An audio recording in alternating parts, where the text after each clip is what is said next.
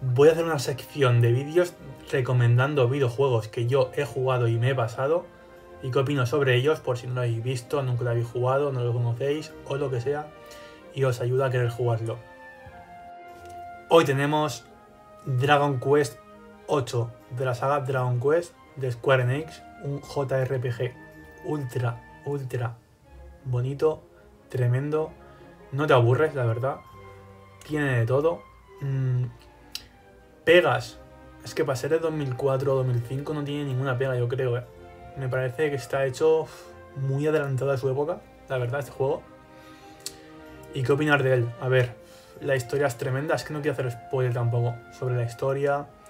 El combate es a turnos, JRPG de la vida, básicamente. Mm, un mundo muy vasto, amplio, con detalles en todas partes, monturas. El juego tiene de todo. Banda sonora espectacular, para mí es de 10, ¿eh? La banda sonora. La pondría 9,9 porque 10 no se merece nada.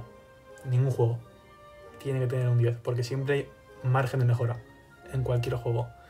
Pero para mí es un 9,9 de banda sonora, de historia 9 y pico también. De duración, qué sé yo.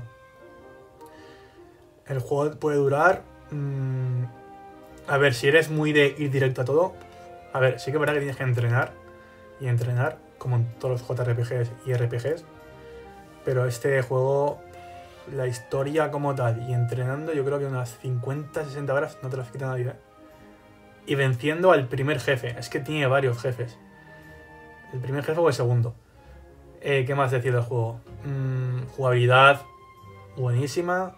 ¿Y dónde jugarlo? Podéis jugarlo en Play 2, si lo tenéis, si tenéis la suerte de tenerlo, yo lo tengo, en 3DS, que es aún más chungo de tener, pero hay dos personajes más jugables, sí que verá que para mí el menú y la interfaz empeora, me gusta más el de la Play 2, pero bueno, y luego está el caso de tenerlo en PC o en Steam Deck, emulado, que también va muy fino. Aquí os enseño un poco el vídeo del juego, un tráiler, bueno, el tráiler digo yo, la entrada. Vamos a pasar esto. Un momentito, chavales. Me cago en tu tía. Y me salta un anuncio. Vale, un poco de historia. Ahí lo veis. El juego es de Play 2, ¿eh?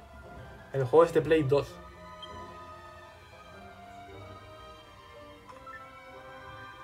En fin.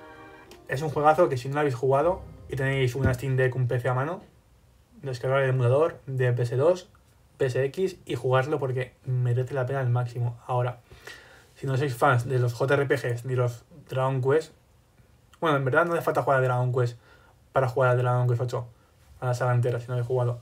Lo podéis jugar igualmente porque cada Dragon Quest tiene su historia. Muy fino el juego, ¿eh? Muy fino.